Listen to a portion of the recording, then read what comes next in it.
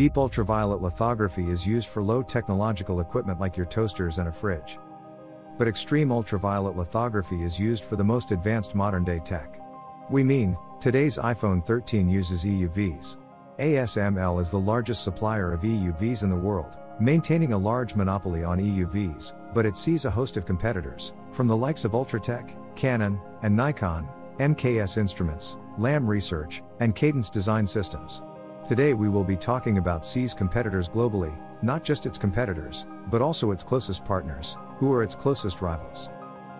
Ever worked on a group project in school or at work where you know you and your teammates have got to stick it out for some time but still have eyes on each other? Yup. That is the exact situation ASML has on ground right now. ASML's success in recent years makes it more valuable than most companies in the semiconductor industry and the world today, including Intel. In 2012, ASML offered a quarter of its shares to its biggest customers, Intel, Samsung, and TMSC, in order to raise money which is needed to hasten its research and developments. What better way to open the doors to your company and tell your biggest rivals, sorry, we mean customers, to buy a stake? These companies amounted to 83.7% of ASML's business in 2021. The way the modern day industry works, most companies are intertwined or have a working relationship with others to produce this component and that component to achieve their goal. No company does it all alone, including ASML. What's it like working with your closest rival? Maybe on the same football team or school project? Free flowing? TMSC's purchase alone accumulated up to nearly 40% of ASML's sales in 2021. Also, becoming the first company to produce chips with ASML's EUV years earlier. Intel followed suit in 2022, three years after TMSC had achieved that feat and gotten some head start, but it wasn't slow in making early investments to be the first to secure ASML's prototypes and next generation high end.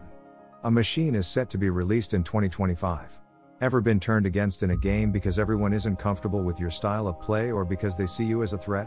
Well, that's what China is going through right now. China certainly has their eyes on the race, wanting to get into it but receiving control and restrictions methods from 42 to 53 different countries, spearheaded by the United States, hampered the Chinese plans to jump on the new tech. This has resulted in both countries' back and forth economic and political tensions as China finds a localized system of manufacturing her own EUVs.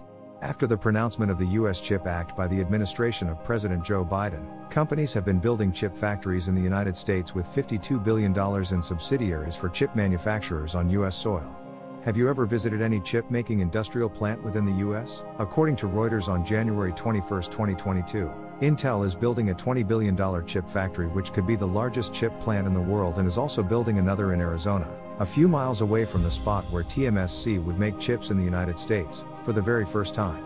Samsung plans a $17 billion chip plant in the US as well, situated in Texas. As you can see, ASML's success revolves largely around the success of these other companies, too, as more business and demands for them would be directly constant to the increment in sales for ASML by most standards. How do these major players tend to threaten ASML with their expansions to the United States? The Taiwanese tech multinational TMSC makes up 24% of the world's chips and 90% of the world's most advanced chips. Making chips for every new iPhone and, most recently, Macs for Apple, even the US Spider Jets. The United States was the ideal birthplace for advanced chip production, but in the most recent decades, has lost its place to Asia, where 75% of the world's chip production occurs now. The Wall Street Journal wrote on June 19, 2021 The world relies on one chip maker in Taiwan, leaving everyone vulnerable. So, what did the US do about this to get even? The CHIP Act. Thanks to the CHIP Act, TMSC is bringing its industrial force to the United States as it looks to produce chips on US home soil and harness US talents. Do you think ASML made a mistake by letting its rivals be a part of its R&D project? First, it could spell good for ASML because it would mean more business for both companies, as the US is also TMSC's largest market, where 60% of its revenue is generated from fabless companies like Apple and Tesla. But it also spells bad for ASML because it exposes TMSC to westernized tech, something the West has used as an edge over East Asians for many years. To become a pure play company, TSMC focused several years on manufacturing. CNBC reported that even Intel had to tap into TMSC to produce chips for them. To make matters worse for ASML, TMSC looks to be on the edge as it develops chips using 3 nanometers and 5 nanometers tech, making it the go to producer for advanced semiconductors, which would definitely cause a real worry and stir to ASML, its partner and competitors who would be keeping a close eye on them as TMSC largely relies on ASML's lithography machines for designing patterned circuits on silicon wafers. Samsung also joins the race to develop the world's first 3 nanometer chip, and you definitely can't rule Intel out. They have their eyes set on getting there by 2025, accounting for a total of 54% of the semiconductor foundry revenue globally. TSMC in 2021 had over 65,000 employees and made $47.78 billion in revenue, spending $28 billion to increase its capacity and leadership of the sector. Recently adopting the 5 nanometer process, the latest technology for mass producing chips. Several fabless tech giants such as Apple Incorporated, Qualcomm, and AMD look up to it for production. The semiconductor giant is definitely a competitor for ASML, not just an ally. Ever pioneered or led a movement only to get lost or lose your touch? Well, that's the case of Intel, another close rival situated and headquartered in California. American multinational corporation and technology company Intel is the largest semiconductor chip manufacturer by revenue in the world, with over 50 industrial plants worldwide. Having under their belt to be called one of the developers of the x86 series of instruction sets, the instruction sets found in most personal computers. Intel is one of the companies responsible for the very building blocks of modern computing, chip production, and advancement. It was a key component in the rise of Silicon Valley as a high tech center in America and the world. Intel created the world's first commercial microprocessor chip in 1971, but it was not until the personal computer's success that this became the company's primary focus. But what happened to Intel, and where has it found itself today? Since then, the production of chips and their advancements has doubled yearly, as Intel co founder Gordon Moore predicted, but Intel still needs to catch up. Intel's chips are no longer cutting edge as Intel took a slow pace in developing in the fast paced technological innovations. With a new CEO in recent times, Pat Gelsinger looks to get Intel back on track and into the game. Intel missed on Apple's iPhone revolution when Steve Jobs rolled out the iPhone and offered Intel to create the chips for the iPhone, but they refused. And most recently, Apple has announced that it would stop using Intel as the chip producer of its Macs PC chip but contract TMSC, one of Intel's fiercest rivals. Back in the days, Intel took pride in making and designing its own chips.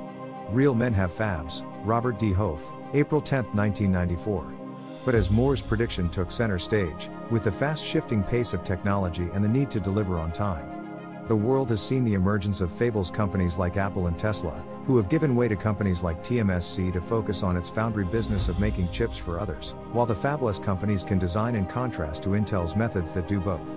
Gelsinger looks to expand Intel's production capacity by making and adding some new fabrication plants for manufacturing in 2025. Intel says its goal isn't just to play catch up but surpass the chip making capabilities of both TSMC and Samsung. Intel also collaborated with ASML in the development of EUV machines. In April 2022, Intel made an installment of the first EUV lithography system in Europe. However, this machine was developed by ASML more collaborations, you would think? Right? This partnership and lithography system enables Intel to produce high performance chips at its Ireland Fab 34 facility. Both Intel and ASML are leaders and top competitors in advanced semiconductor lithography technology. And how about its last major partner? Samsung, South Korean multinational manufacturing conglomerate, Samsung, comprises numerous affiliated businesses, most of which are united under the Samsung brand, making it the largest South Korean business conglomerate. Samsung revealed it would begin manufacturing chips with a 2 nanometer process in 2025 and a 1.4 nanometer process by 2027. This came in after it began mass production of its 3 nanometer semiconductors in 2022 as the company looks to catch up with market leader TSMC. Having the second biggest foundry globally by revenue, with a 17.3% market share, according to Trend. Force, plans are already on the way as it aims to expand its production capacity for the most advanced chips by more than three times what it is right now by 2027, including its US plans in Texas. A move that pinpoints its expected bullishness on future demand. The US had been looking to attract these major industrial chipmakers, and its dividends seem to have paid off as Samsung, TMSC, Intel, and the rest now set up structures on US home soil. A good thing for the US, which can now reduce its reliance on the manufacturing hubs in Eastern Asia. But these moves and audacious acts make ASML sweat as its partners seem to be getting a hand with its EUV technology, threatening the giant with a great decline in the near future. ASML's monopoly now receives a huge run for its money. Its partners may play quite a significant role in the industry. Being a major driving force in ASML's success, the semiconductor manufacturing company has to be watchful, so it doesn't slip behind or lose its most intellectual properties to its partners and let its rivals have an edge over it. Opening the doors to a partnership would never be wrong, but selling yourself fully might just be shooting yourself in the foot. We mean, why would we need you when we can do without you or emulate your work? We guess that's a question we would leave for you to answer as well as ASML. We're sure you enjoyed this video, so make sure you like and comment on this video. See you there.